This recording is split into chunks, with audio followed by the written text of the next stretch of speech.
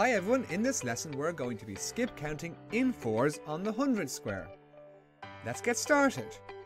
Here we're going to skip count on the hundred square and we'll start off with the number 4. What do you think is next? Well let's hop on 4. Hop 1, hop 2, hop 3, hop 4. So 8 will be next. After 8 we're going to hop on 4 more again. So hop 1 will land on 9, hop 2, hop 3 will be 11, hop 4, which is 12.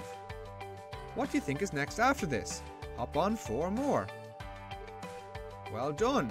We're going to land on 16. After 16, we'll land on 20.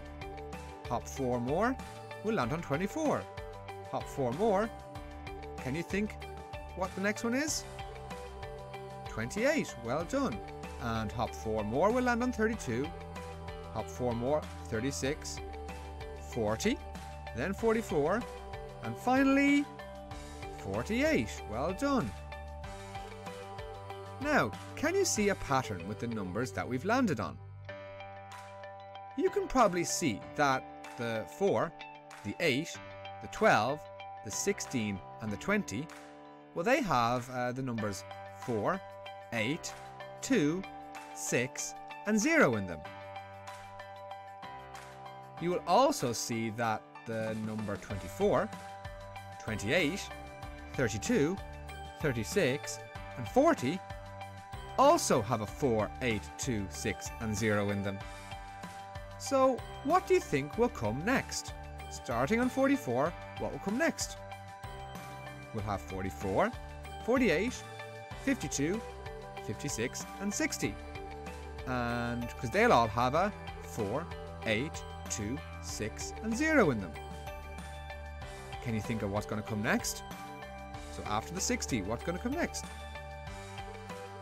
Well done. So we've got 64, 68, 72, 76 and 80.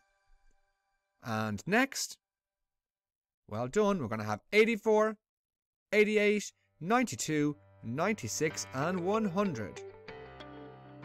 Because they all have a 4, 8, 2, 6 and 0 in them. And that's how you skip count in fours on the 100 square. Excellent work! For a challenge, you could colour in your own 100 square by skip counting in fours. See you in the next video.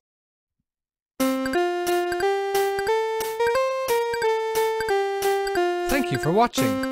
Please click like, subscribe and click the notification bell.